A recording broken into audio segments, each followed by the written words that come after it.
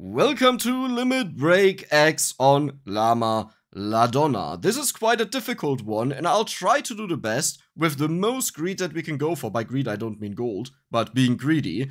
We could also do this on Missing No when we roll for an axe, but I mean the stats are randomized, you know, so that's a bit, I don't think that would be good. And obviously we will play on the library, and I will do something that, ooh, oh that is amazing. I will do something that I usually don't do. I will rush over to the empty tome and get it ASAP. The weapon is so horrible that you can't really farm the enemies either way. Like, it kills 3 enemies per axe, which is great if it happens. But yeah, there's the if, you know, most of the times it doesn't happen. Uh, that's great. Tronos box, that is actually great. Thank you. Um, things that are really good on the weapon are NFT. it's like, oh yeah, what makes this weapon really good is if you pick something up that doesn't belong to the weapon. No, but early on you kind of need it, and if you don't get it, you have a problem. And I will have a problem, because I won't get it. I'm moving around, so I will only super rarely walk into the candelabras. But uh, trust me, with Empty Tome, the weapon is actually decent. It's good. Without Empty Tome, the weapon is, um... Yeah, don't expect to level up a lot. Now with Golden Axe, the whole story changes. The weapon becomes the strongest weapon in the game, since it has the best scaling out of all the weapons that exist. But without them, you know, if you... Oh. I actually didn't consider going for Duplicator, since we will have enough amount either way. But given how weak the weapon is early on, having plus one amount could be in uh, incredibly good. This will mean I will not go for Spinach, but I don't even think we need the bonus. What is a 50% bonus on 150% might that we have right now, here? So in total we have 249%. Going to 300% is only a bonus of 20%. Th that is not a lot. Given that it either way has an incredible scaling with Slash, I, I don't think I care too much. And X, one more projectile, very good. We are about to hit the first empty tome. And this is hopefully where we see a shift. One and a half minutes in, I would say this is good. The alternative would have been that we wait until 6 minutes when the bad wave spawns and then we walk over. Uh, but, but, trust me when I say this, you waste so much time that it's not worth it. Once we have the empty tomes and especially once it's maxed out, we will farm the enemies like crazy. But up until then, you barely get any kills and you just fall behind further and further and further because you keep taking more damage Empty Tome, very good. Don't trigger the Guardian. That is a very annoying boy. Okay, there we go. Hopefully no, this doesn't trigger him. Very good. Regarding Curse that we have over there, I will see how we perform with the weapon if we eventually get it big enough that I can just freely walk around or not. That will entirely rely on those resources. Weapons like the axe, and as you can see it now fires constantly, weapons like the axe are always complicated to do, since they tend to take a very very long time to become strong.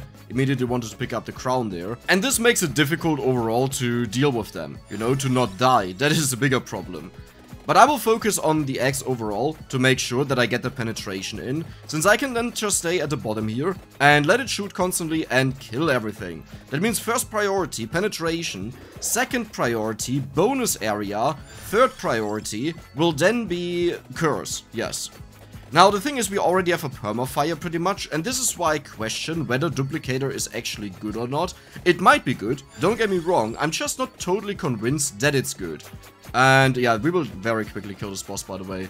The axe has a ridiculous amount of damage. And I have a question for you. Do you remember the time when you started playing Vampire Survivors in the very beginning? What was your go-to favorite weapon? Maybe not just the favorite weapon, you know, but a couple of them.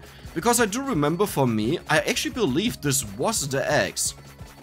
Since it took a while to unlock garlic for me. Uh, there we have spinach, no, but I didn't want spinach, there we go. It, did, it did take a while to unlock garlic with all the chickens, and the eggs is just amazing. Just thinking back, the main problem, oh, the Candelabrador, very nice.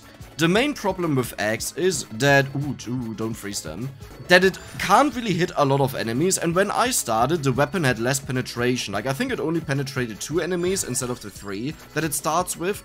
I might even be wrong and the penetration in the beginning was only one enemy, uh, that was it. However, it was exceedingly strong against one particular enemy. Okay, bosses in general, but also, do you remember the green guys from the Mad Forest that spawn at 5 minutes or so?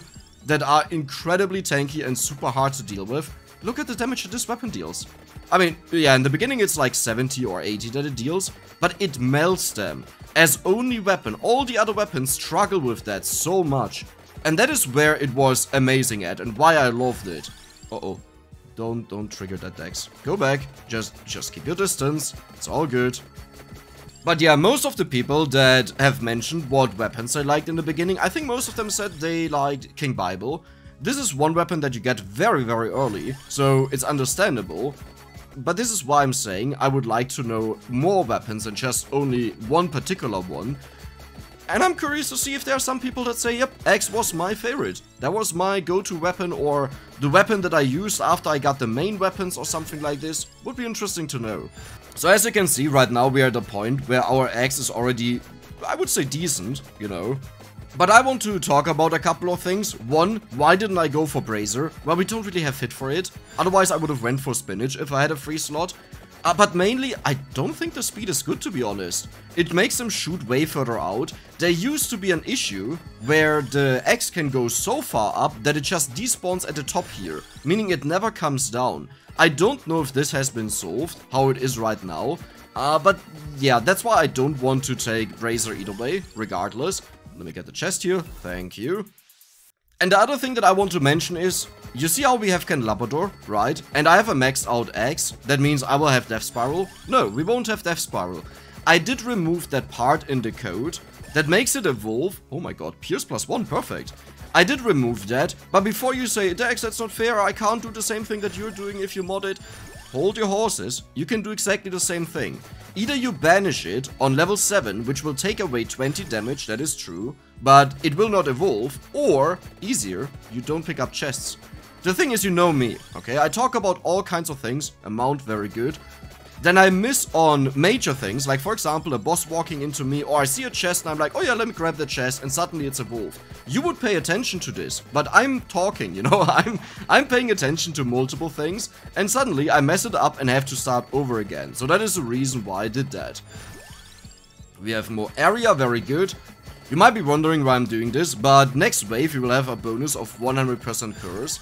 And I have to make sure that I have a very very strong weapon that deals with the enemies and they don't overrun and kill me. That is also one of the main reasons why I said I want to have Empty Tome as early as possible, that I can start killing the enemies and level up. I did a test run before this, and I think I finished the test run at around level 20, but I was at 8 minutes or so. We are at 6 minutes and we have level 44. Do you understand how insane this difference is? It's incredible. And there we go. To be fair, a lot went wrong in the test run as well, so you can't blame everything on just the axe being slow without Empty Tome early on, but it was just incredibly bad. Let's actually see, do, are we shooting double axes? Wait, we are shooting double axes, do you see that? We are always shooting out two axes at once. Oh, that's amazing. Oh, that's so cool. Man, I just love playing limit break weapons because there's so much to learn about weapon behaviors, game mechanics and stuff like this that you would usually not see in the game. Oh, oh, oh, oh, oh, oh, oh, okay, careful. We have enough Pierce to kill them, and this is the reason why I wanted to manually do the amount and Pierce. If I wouldn't have done that, the axes would just disappear and the enemies rushing into me and I would die. Okay, um, yeah, but this is still a bit problematic. Maybe I will just wait until I get Slash. That is a ginormous power boost to the weapon. I think the crit chance is 30% base, multiplied with our luck, which is 40%, yeah, 40% uh, I'm not gonna do the math here because for whatever reason I always do it wrong, despite it being super simple. I just suck at multitasking, okay? But rough estimate, 40% uh, is almost 50% and 50% would be 45%. I think it's 42% if I'm not mistaken, but uh, something around that line, okay? Every other hit will critically strike pretty much, and that is good enough for me. Oh my god. Look at the axe. I wonder if eventually we will shoot out three axes at once, if we get enough amount, or if this is just cooldown reduction based. Okay, could you finally die, please? Amount plus one, very good.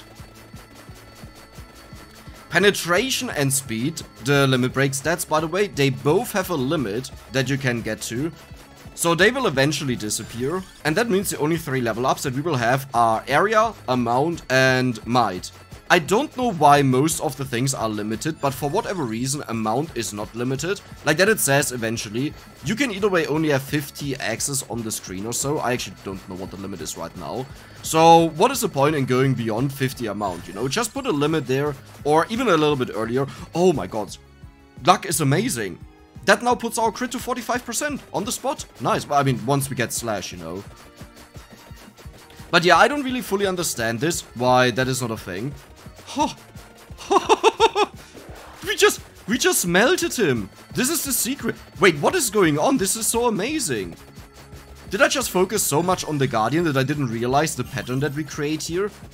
It's a bit like a fire hose, like a flower garden. Well, not garden, but like flowers blooming up and exploding. What flower blooms up and explodes? I mean, there are exploding flowers, but like blooming up and exploding right away. I, looking like this. Ah, That's fine, it's okay. I gotta be honest, I expected this to be incredibly difficult, and so far it's actually really simple. So far, okay? We are still not killing all of the enemies. I wonder if there are still penetration upgrades left. I would expect so. But I think at this time, even, like, I walk through them here, right? And they don't kill me, they don't even harm me. I think I can just randomize now. Maybe I will go for a little bit more penetration to make sure that I have enough. And that rather that I kill more enemies, you know, I want to make sure I kill all of them. But aside from that, that looks amazing. And we are at 200, wow, 230% curse. Now, while I do trust in my ability to mod the game, it could be that I made the change and I forgot to restart the game. It sounds stupid, but this has happened to me multiple times in the past, where I was sure that something would happen the way I set it out, and then I wanted to show it off and say, yeah, see, there's my prevention that, for example, the axe wouldn't evolve and suddenly I have a death spiral, so I will still avoid the chests, they have no benefit, um, but maybe eventually at one point we will run into a chest accidentally and then we will see what happens. But I'll try to avoid them just that nothing stupid happens. I wonder, can I also go up? I can! Wow! So usually they would run below me and kill everything. I know with Golden Axe, the def uh, the axe is insanely good. Did I say Golden Axe? Golden Axe. golden Axe. Also, Golden Axe, the, the, the, the, the things that the chickens make, but golden, is really good with eggs, the thing that we are throwing. But I didn't expect that we would get to such a state so ridiculously fast. We are still missing 5% cooldown. This would make a ginormous difference. It would pretty much speed up the attack speed in quotation marks by 50%, right? Well, 15% cooldown takes 50% longer, but we would reduce it by 33%, yes. I, uh, it's confusing. The point is, we would attack a lot faster. Uh, uh-oh. Uh-oh. 50-50 guys, please beat Arcana. It's at least not an evolution. Yeah, there's the Arcana, nice. Well, that's a reroll. And this also looks like a reroll. I mean, obviously. I wonder if I should go for Awake for the bonus stats. 20% on everything is actually quite a lot. Because these stats here, the character stats, multiply with the bonuses that we get from the eggs. Ah, uh, but then I should have had... No, it's fine what I have. Well, maybe no duplicator. Oh, it's okay, let's reroll. And there's Slash. How much damage are you dealing now? I want to see your ginormous crits. I will just random always now, by the way. 940. This is a base weapon, by the way. 940. Jesus Christ. I will look out to find more Clovers. Every single one that we get improves the odds that we have a critical strike. But what I'm curious about is, how strong is the Guardian against us now? Because we are incredibly powerful here. Let's see. Guardian, hello, how are you doing? So he gets hit a buttload of times as you can see. He can't even move. I have to be careful. I need to turn around here. And there we go again. No, I need to get him up. Come on, follow me up. And now switcheroo. There we go. Yeah, th that was already it. This is a basic weapon. One of the first weapons that you get in the game. It just melted the Guardian. As if it was nothing. And let's take the Metallio. Thank you. And thank you for the correction that it's not called Metaglio. I don't even know why I thought it was called like this. Like, before you say, yeah, that's German pronunciation, because we would pronounce it G. I frequently go to an Italian restaurant, and they said it's called spaghetti aglio e olio, which is completely wrong. It's called aglio e olio. And I don't even know why they said that. I think the reason, they are Italians, okay? Just not to be misunderstood here. They are not Germans that sell Italian food, they are Italians. And I think the reason why they said it is just because all the Germans tend to say aglio e olio. I think that is the reason. And that is what confused me here, why I said Metaglio. Why do I tell this story now while we are playing? Actually, I think it's quite nice to tell some random stories from time to time. You know, not game related. Question to you, to those that enjoy the Vampire Survivors content. Okay. Oh my god, that was amazing. So it's less about the people that would watch anything and they even join the, I don't know, streams of me just talking randomly. What do you think about me going off and talking about some other things? Not just, you know, Vampire Survivors related, but in general just some other things. And the reason why... Is it a clover? No, that wasn't... No, okay. The reason why I do that is, well, there's only so much that I can talk about in the game. And I think per video, I constantly repeat what I say. Some things I will always repeat because I think they're good to know. And also good to remember why I make certain choices. Or because I expect that a lot of people will comment on it and then I can already clarify, no, this was the reason why I did it. But aside from this, it would be curious for me to know what you think. When I watch a certain YouTuber for a particular game, for me, for me it's a mix. I like to see the game and what happens there and to get an understanding why they do it. Like for example, modded Minecraft. This is one that I really enjoy watching in general, and I want them to explain why they do X, why they do Y, why they do not do something different, for example, that would have also been an alternative. However, I don't want them to constantly talk about that, you know, as much fun as it is, it's also like, yeah, I get it, I've seen this mod a thousand of times, you don't need to explain the same stuff all over again. So, it would be curious for me to know how it's for you. And I know that everyone is different there, by the way. Like, I know some people just watch a YouTuber based on... because they enjoy the YouTuber, okay. Then there are people that watch a certain game with a YouTuber because they enjoy the YouTuber playing this particular game.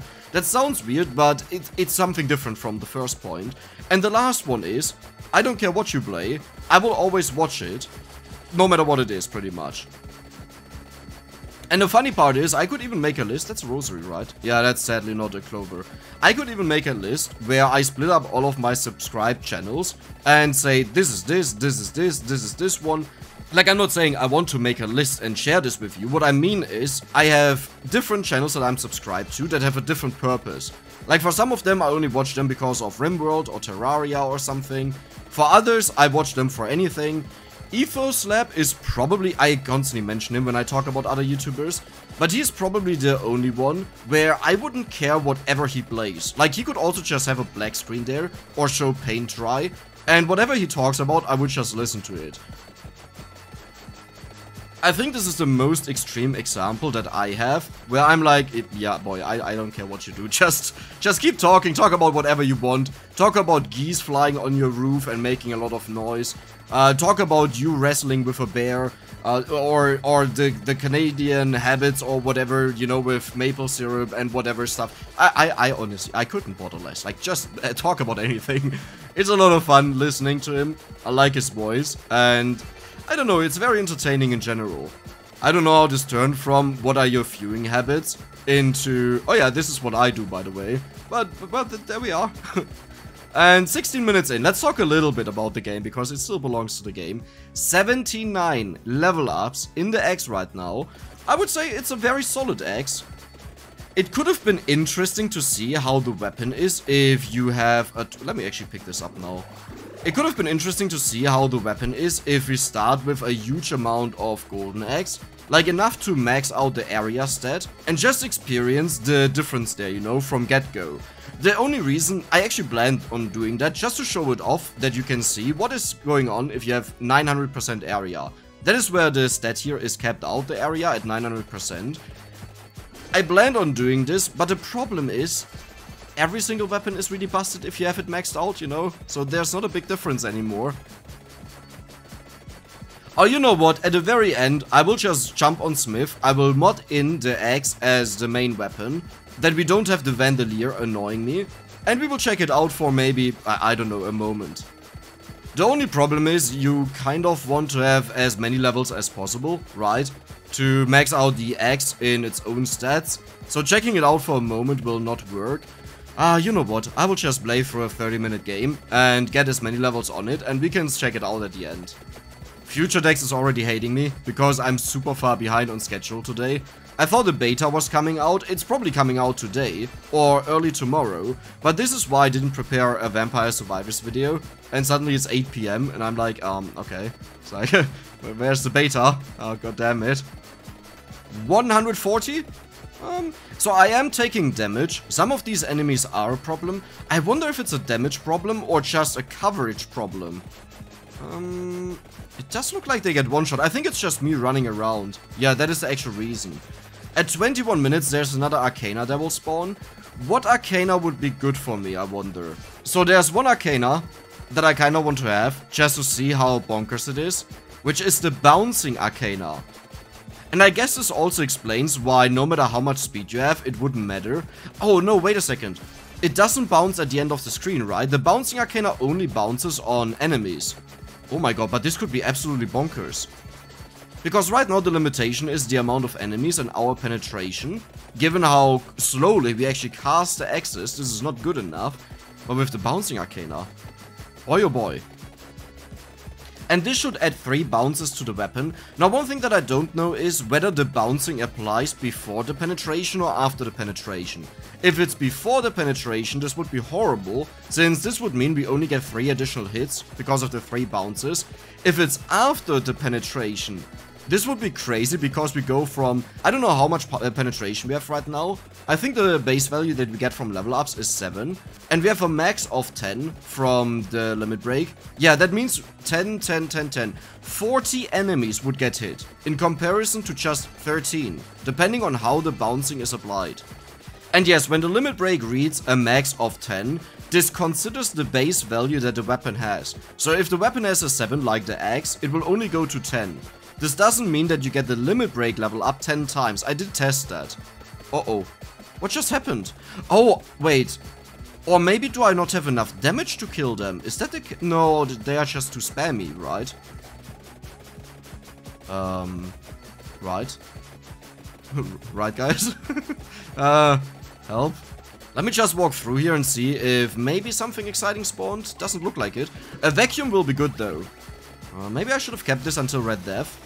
Oh my god. Uh, do we have a vacuum anywhere? We have a chicken here. And an NFT. And a freeze. The freeze will be good to collect everything once the Reaper spawns. Um... And here the Arcana bed should spawn any moment. But I need to see which one it is. I don't want to pick up the wrong chest. Just in case it turns it into Death Spiral for whatever reason. Uh, let me go up that it can walk. Oh, okay, there it is. Nice. Thank you.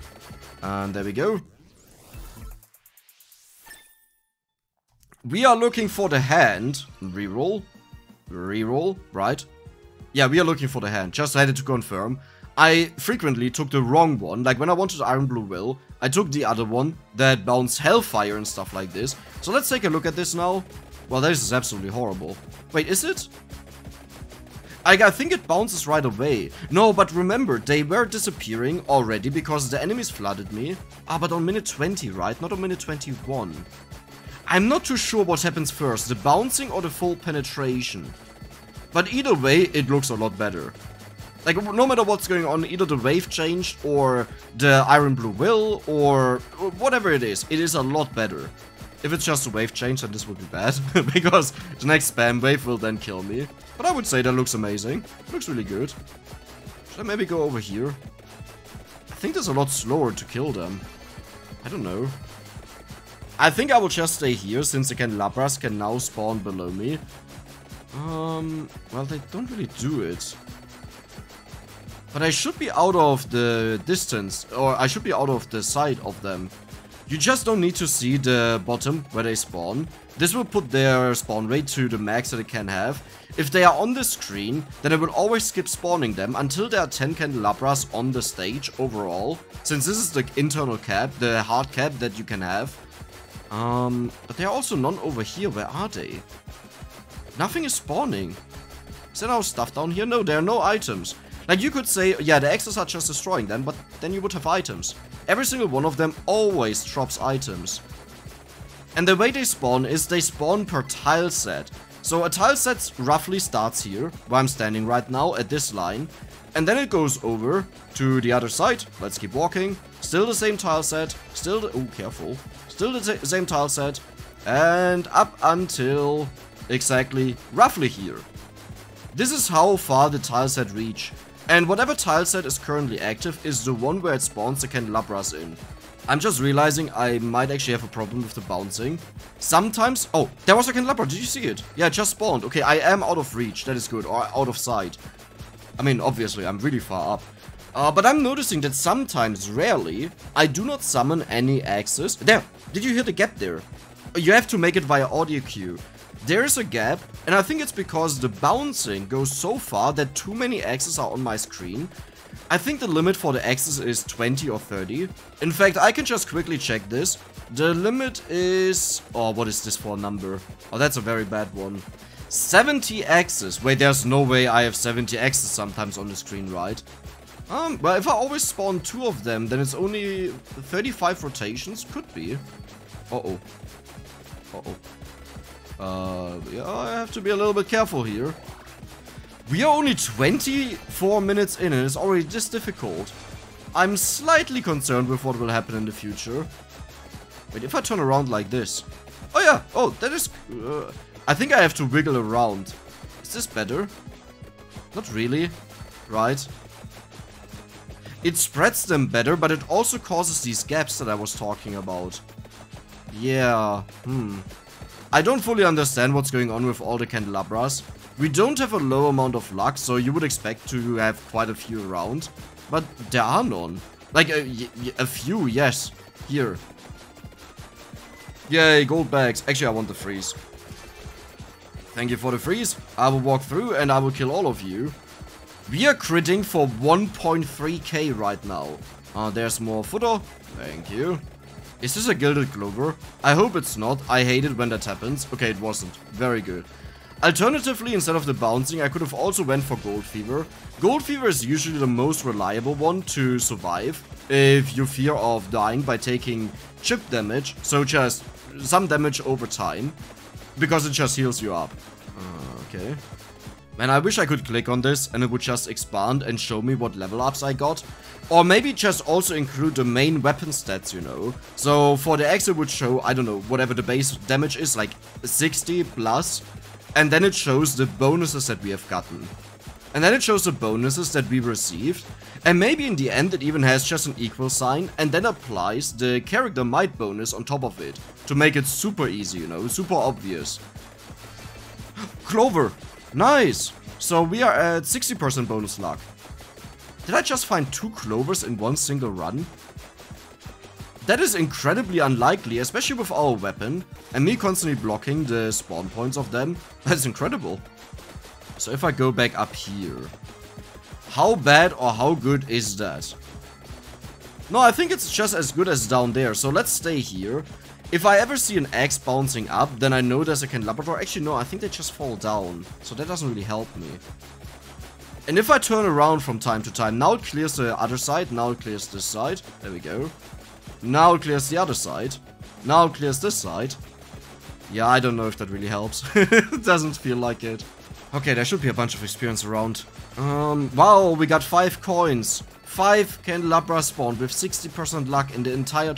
There's a vacuum. There's another vacuum. This is a perfect setup. Just give me the red gem. That was not the red gem that I was looking for. The red gem is another castle. Oh. Uh, where is it? Did I already get it? No, right? I barely... I didn't level up, did I? Maybe I did. I don't know, I'm not sure. There's another vacuum. Perfect. So I can take one at 29. No, I should take one now. Yeah, let me just take one now. Then I will take one at 29 minutes to get more upgrades. Oh, that was not a lot, actually. Yeah, I don't know. But at 29, and then we will take one at the end, maybe 29.45, you know, to get a final boost in levels. This wave here gives an incredible amount of experience in comparison to other waves. So I expect that we will level up at least 25 times. So let's see if we will be on 246, hopefully at least. My real expectation is actually quite a lot higher, but I don't want to look like an idiot. I think 260 is expected. Uh, but this also depends on how much we kill. Okay, there we go. How many levels do we get? Wow, that was horribly bad. What? Oh, yeah, okay. We're actually not getting a lot of kills here. Oh. Uh-oh. Why is it so bad? Oh, our luck. While it's great that we have a near 50% uh, crit rate, or maybe even we are at 50%, it is not enough to crit all the time. That means every other axe is pretty much useless. It doesn't do anything. And this behavior of bouncing just to one side is really bad in general. Okay, wait a second. Don't tell me there's a freeze on top of here. Freezes kill experience gain. And let's go. What do we have? Okay, 200... Well, no, okay, we are not even close to my estimate. I really thought we would reach the 265, but it's okay. Oh, there's a freeze. Maybe, you know, if I, if I walk around and collect a little bit more. Wait, wait, wait, there was a freeze. Yeah. And there we go, 290 million damage. I guess that makes sense with a lot of overkill from the crits. Wow. Okay, are you ready for this? There's one big problem that I didn't consider, because we have freezes here, and they are horrible for the killing, but, uh, let's go. There you go. This is what it sounds like. The sound is amazing. I don't know if I'm breathing fire right now or whatever is going on. Uh, this wave here is incredibly good for level ups. You can see the kill counter. And yes, the weapon has become ginormous. It obviously didn't start like this. In the beginning, I was thinking it's actually quite horrible. It did take some time until it got to this size, and I'm not even sure if it hits all the enemies, given when they get frozen, I get barely any kills. Or at least it was like this a couple minutes ago when I saw that they got frozen. So there is benefit to have even more eggs than the 22k that I have right now. Because by having more curse, by having more growth, you will level up way way faster and reach this state that I have right now way earlier. And we will of course check out the damage that we have done here. Um, but yeah, this is what it looks like. This is why I think the Axe is by far the strongest weapon. Do I have damage numbers turned on? Uh, let me quickly... Yeah. So once the Reaper appears, we will see damage values appear and we have to quickly check that. Uh, 22,000. That is, uh, that is very solid damage. And I always crit. A reason being that I have so much luck that it's just 100%. So, let's quit. I'm not gonna do this 110 times. You can forget about that. We have uh, 5.5 G. you know, that's a little bit more than we had in the last run. Just a little bit.